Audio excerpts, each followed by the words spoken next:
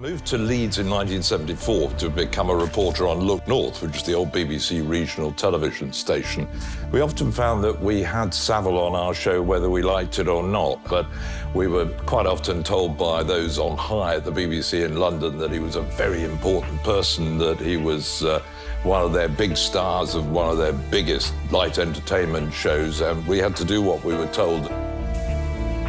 We heard a lot of stories about Jimmy's Friday morning club, which seemed quite a, an interesting gathering that Jimmy had put together over the years. From his school friends through to prominent local businessmen and local doctors, and certainly quite a number of policemen were encouraged to go round to his flat overlooking Roundhay Park on a Friday morning where they drank industrial strength tea out of large mugs and ate very, very cheap, nasty cakes, whilst apparently kicking around the latest news and current affairs and community relations in Leeds. It was all part of Jimmy's huge sphere of influence that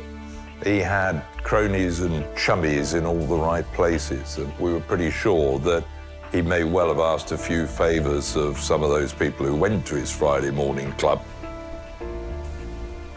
Jimmy Savile's relationship with the police was pretty curious, and it seemed to go on for an awful long time. And if the police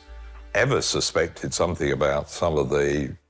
abuse and activities he got up to, they certainly either covered it up or they were blissfully unaware of it. Either way, they seemed to give him